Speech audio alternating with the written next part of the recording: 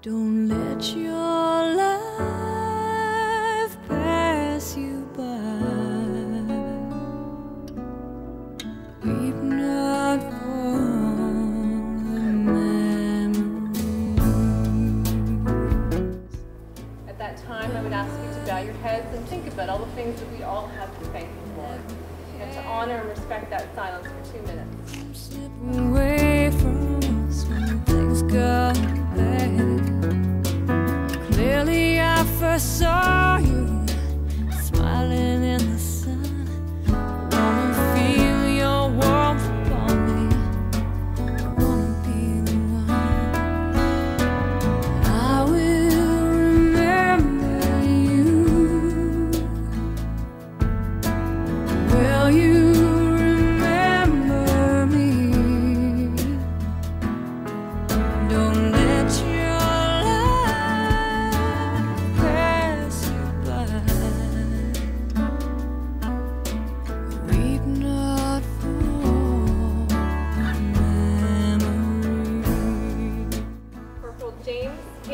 Arnal served in Afghanistan.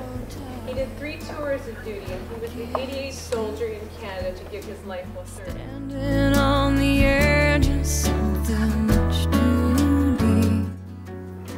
His mom and the owner of JS Furniture got together and thought, why can't we send pillows to our troops serving in Afghanistan? They made some connections with the Canadian military and with the Canadian government. It's taken them over a year to make this come true.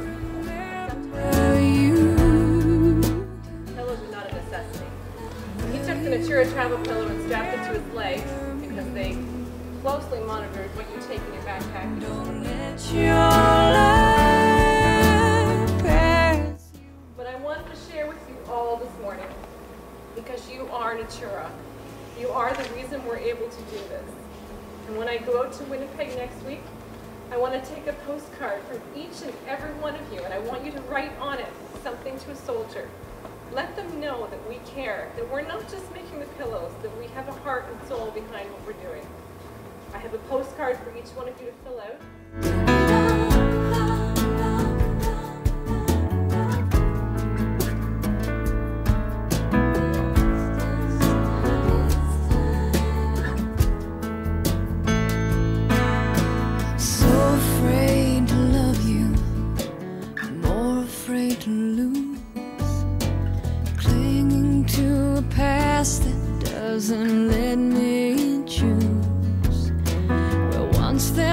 A darkness, deep and endless night.